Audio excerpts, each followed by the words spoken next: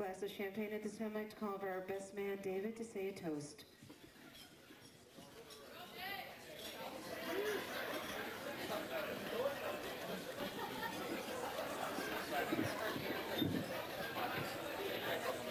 Like my father, I also have a couple ghosts. Um, on, behalf of, of Steve Shannon and my parents, I'd like to welcome everyone here tonight. I'm sure you're going to have a, a wonderful time. Um, 11 years ago, a great guy uh, gave a toast at my wedding, and in that toast he said, I've never seen the groom really smile until he met his bride. Uh, that guy was my brother Steve, and I can definitely say that the same. I can definitely say the same thing today.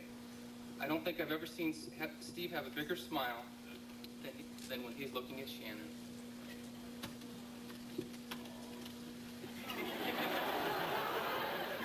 You've all heard of, you've all heard of three times the charm. Well, uh, Steve and Shannon kind of um, uh, emulate that. Steve and Shannon first had some passings in junior high. In high school, they had some uh, uh, unsuccessful dating for a short time.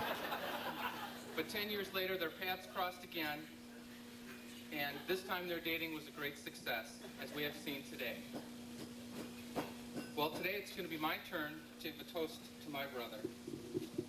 So if you please raise your glasses to Steve and Shannon, the best of health, the best of happiness, and the best of each other. Here's to my brother.